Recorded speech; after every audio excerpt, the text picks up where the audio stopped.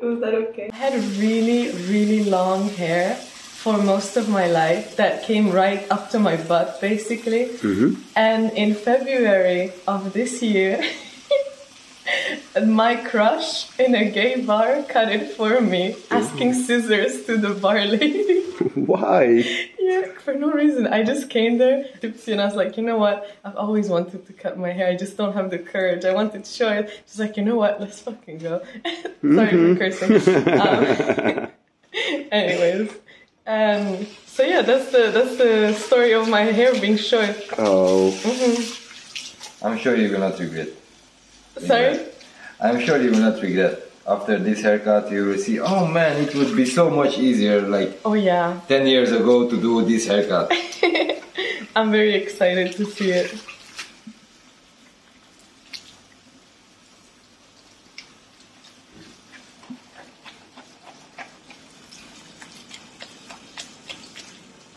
And how long have you been working as a hairdresser? Um, 2009. Oh wow. I was seven years old. What? Yes. I mean, I, I think uh, do you do the math? yeah, I'm pretty I- young. You, I'm you must be 20. to- I'm 20. Yes. And where are you from? uh, I'm Italian. I was born and raised in Italy. My dad, Which part of Italy?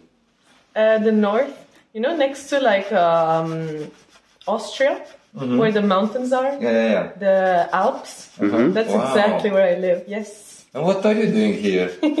That's what everybody asks. I just I was inspired by Brussels because uh, there's a lot of different people, and it's just very interesting to see the mix of different ethnicities yeah, yeah. in cultures. Yeah, it's fascinating. And I just needed, I wanted to better my French. I speak six languages, and French was a language that I wanted to seal. Uh-huh. So To which one have- are the six? Yeah. What? Which one are the six? Uh, Italian, Arabic, English, Spanish, German. What did I forget? French. Oh, we have a, a day full of polyglots. I have. Uh, So how do you a lot of learn. Arabic? Uh, my dad's Moroccan. Ah. my mom's Italian. Okay, so And they were wise enough to speak different languages to you. Yes, I, gr- I actually grew up trilingual. That's why I'm saying I was very lucky. Excellent. Because my mom would talk Italian to me, and my dad would speak Arabic. And in school, because of the situation in my region, I learned German. Bec- It's like here in Brussels where you have Dutch and uh, French, yeah, yeah, yeah. and we have German and Italian because uh, historical reasons and stuff. Yeah. Yeah, me too. Mm-hmm. The same. But Italy is really beautiful. We have a lot of like Romanian people, and it's so nice. They're so lovely all the time. I have such a good group of friends there in Italy, and I always remember like their kindness. It's beautiful.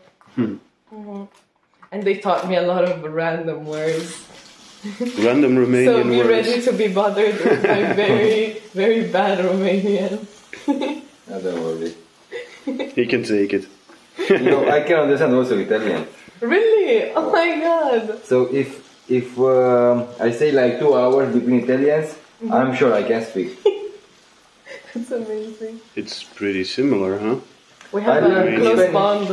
So I was walking El Camino de Santiago, you know the okay. Mm-hmm. Yes. So uh, I was one month in Spain. Mhm. After I came back, I didn't know how to say uh, Buenos dias, like uh, in French, bonjour. I was saying, I was saying Buenos dias, and then I was, oh my god, how you say in French? How you say in French? it, it couldn't came out Oh no. after one month.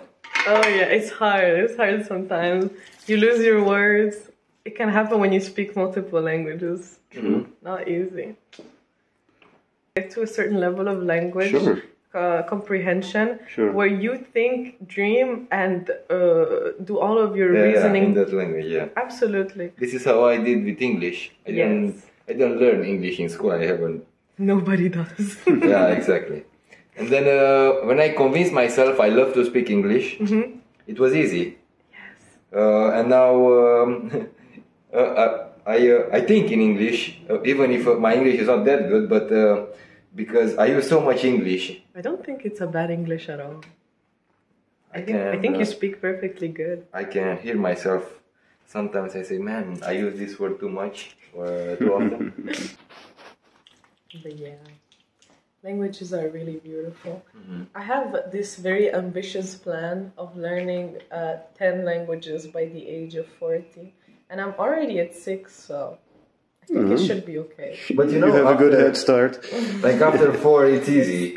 After 40. Yeah, after four languages, it's easy. That's kind of true. That's kind of true. But honestly, some of them, it actually depends because they're so different. I I know a lot of European-based, like uh, European languages and Neo-Latin languages. Uh, but you know, I want to learn languages like Chinese and Japanese, and they have very different, very very different way of operating. yeah, yeah, sure. Yeah, I was thinking about Chinese and Japanese also. hmm So hard. But if I'm not going to use never in my life the language, I'm not going to learn it. So you know, I am the guy who are, who is not going to school to, to do something. I am the guy who is going to do something to be in school. Interesting philosophy. Don't get him started. I mean it. Don't get him started. he'll, he'll never stop. I love listening to people. To be honest, I really don't mind. you should have an interesting time here. Um, my mom, my dad. Oh, I become a hairstylist because of my mom. Oh really? Yeah, she was so good at it. I was crying when she was cutting my hair. Crying of joy? What? No, no. Sorry to change the topic. I just wanted to say that the undercut is gonna be great because, as you can see, I always get knots at the bottom Mhm. there because there's so many layers. They just get completely knotted down there. You're gonna love it It's so much. useless. Now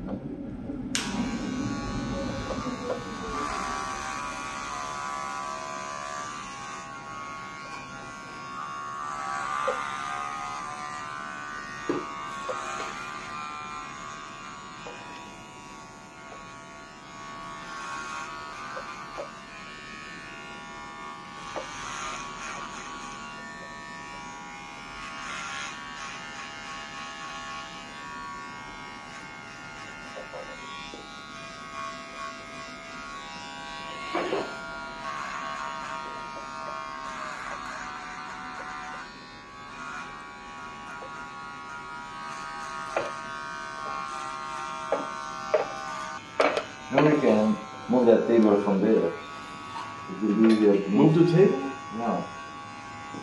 It will be easier for us to move, no? sure.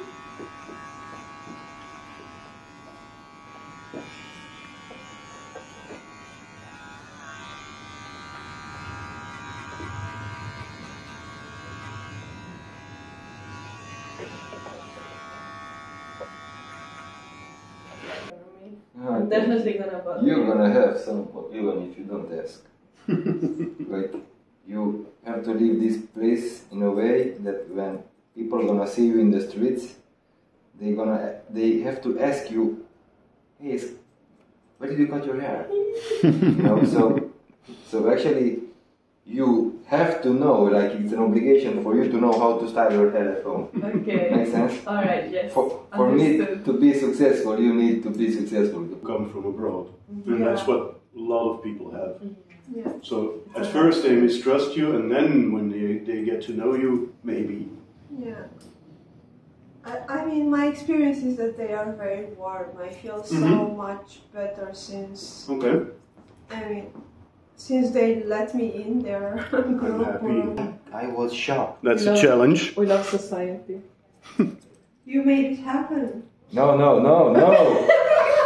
no, we were no, we didn't. we were talking about we were talking about Just normal conversation. No, we were, I, how are you? I've never had an orgasm before. Oh, we were talking about about it's gonna be such an interesting video, this one. what we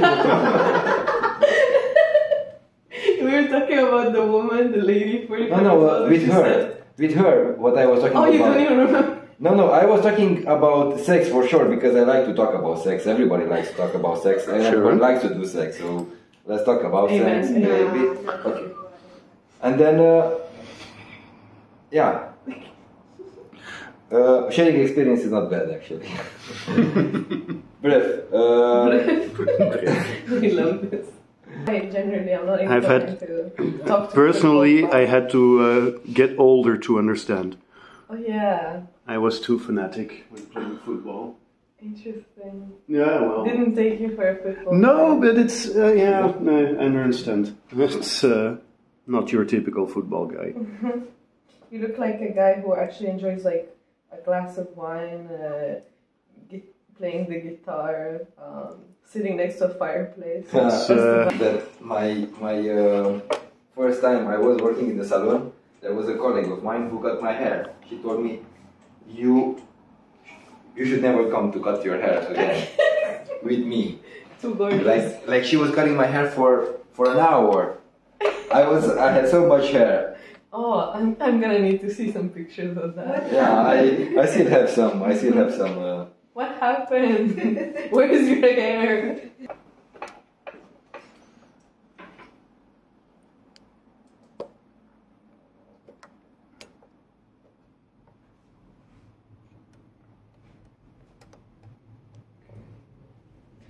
So uh, when I when I when I realized I I am scratching my my uh, Head. my head was like, what the heck am I doing? So so just imagine every day, like for ten times or so, Mhm. you scratch your head. I'm sure you're gonna lose hair. I'm sure.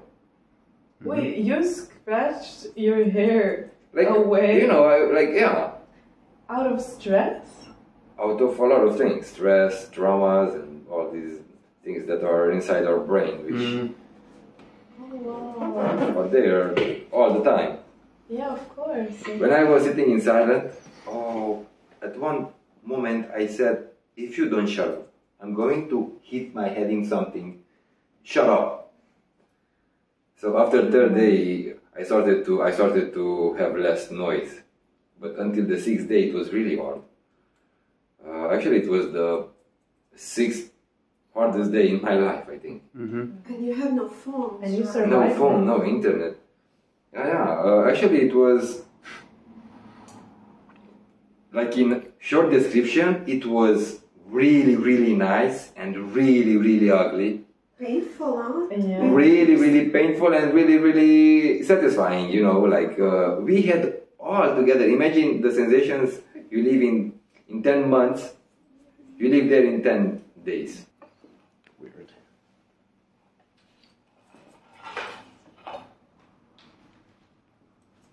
I am so curious to see them dry. It's something that is gonna be so interesting. You will be in love today. Oh yeah, I am ready to crush. Cool. She loved mm-hmm. because she felt loved. Mm-hmm. She didn't love me. She felt love. Love, oh, right? this is interesting, actually. So if she felt loved, then why she's telling me I love you? Well, I guess that in like she feels loved, so in return she thinks that uh, she also like loves you for the way that you love her. She loves l- being loved. Ex- She loved being loved, but she don't know how to love me. Yeah. That just sounds like you've got some people that didn't know how to understand you So and simplicity, uh, like you- it- like it get makes to your needs and yeah, yeah, I It understand. doesn't sound simple at all. Yeah, no, I Just was. overcomplicated. No, it's like so simple. That, okay, so It's if- just a feeling of understand love- warmth inside and a feeling of wanting to just uh, see the person happy and thriving and Exactly. generally just like feeling such an unconditional uh, sensation of good towards a person.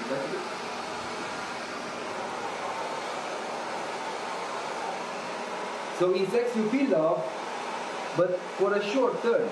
Why? Because it's only physical love. I mean, but you do feel a deep, deep connection with the person if you really like love them, or if you have a really good like uh, synergy. Then I think that from even sex you can get a really big, big connection, and it stays Just with you because never. no, because not not only through sex. and I'm not saying that that's the only Uh, thing.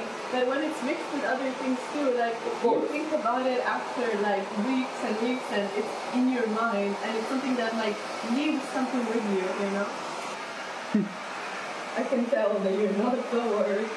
I got the message. I was not there when they were sharing the shyness, you know. The, and you did not get your share. no, no. There were buckets full of shy that people take with them, and I don't know what they take it soup or I don't know. to It's okay, I understand. Not everybody does. But it's important to care about your body in general. yeah, yeah, definitely. You know, I have uh, 12, uh, 12 categories of life. Yes?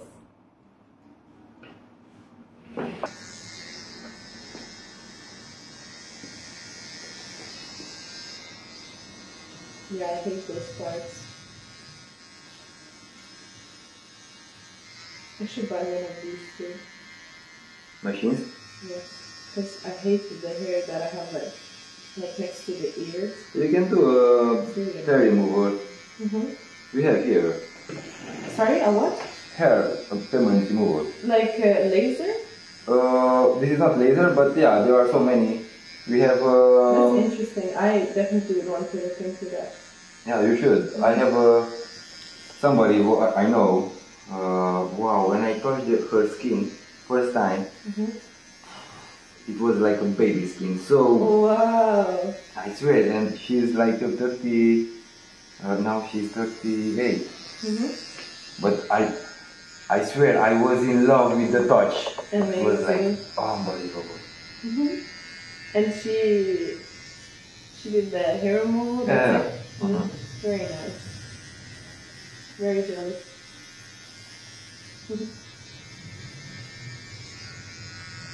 And say there are parts uh, where we don't really need the hair. Come in and have a seat. All over. You can. You can, you can sit wherever you like. We have a couch all for yourself if you like.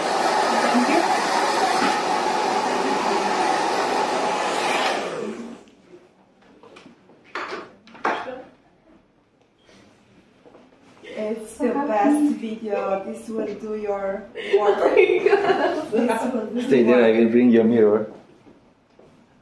Okay, you need to chill. Normal reactions later. Just be happy. You If you're happy. Yes, please. Come back on the chair. Yeah. Wait. Oh. Take this in your hands. Okay. Oh wait, I, I just uh, realized that you have here something. That is literally like insane. It. It's like my dream hair, but I would never have it. yeah. This will never happen. Not today. Not today. Yeah, you can. You can. Oh, I got used to the idea. Oh wow! Oh my god!